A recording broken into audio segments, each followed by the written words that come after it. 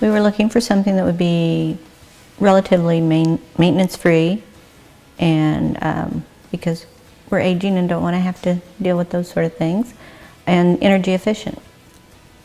That's the reason we looked at Morton.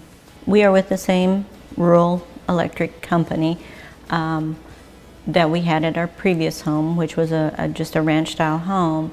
And I found that our electrical bill is about half of what it was over there.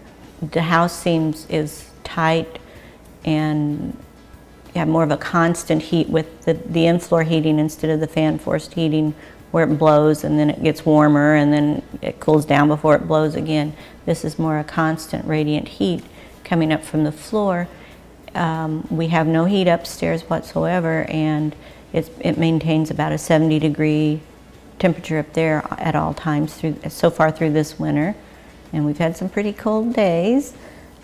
The energy is eh, unbelievable. I know we have excellent insulation in the building, better than you do in a, a regular built home. So energy efficiency is, is one of the things we were looking for and I think we found that through this. When you say Morton, you know, we're building a Morton home, they go, you mean like the machine sheds, like the farm buildings? And you say, yeah, but you don't understand what they can do inside. You know, it looks just like any other home inside, you know. So um, the whole building itself, the concept of having it all together has been great.